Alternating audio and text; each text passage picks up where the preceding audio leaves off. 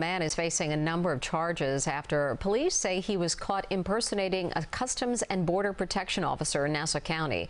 Investigators say 53-year-old Andy Kwok was dressed as a Customs and Border Protection officer when he was arrested yesterday at a restaurant in Levittown.